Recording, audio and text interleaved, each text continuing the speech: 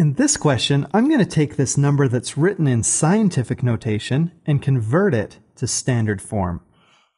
To do this, I'm going to have to jump the decimal. I'm going to have to jump the decimal five times. The question is, am I going to jump it to the right or to the left? Well, in other videos, we've talked about the negative number here reminds us that it's a small number because negative numbers are smaller than positive numbers. A small number, in this case a decimal number, is going to have a 0.00 something.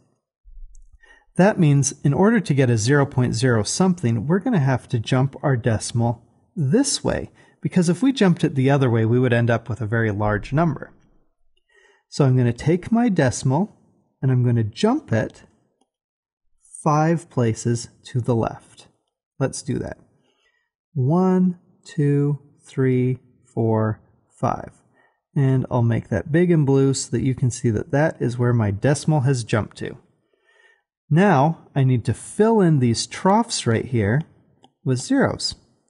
So a zero, zero, zero, zero. And that is going to be our final answer with the exception of we're no longer going to have this time 10 to the negative 5. So our final answer becomes 0.000021. Now you may be asking, there wasn't a zero in front. Why did I put it here? It actually doesn't affect the value at all.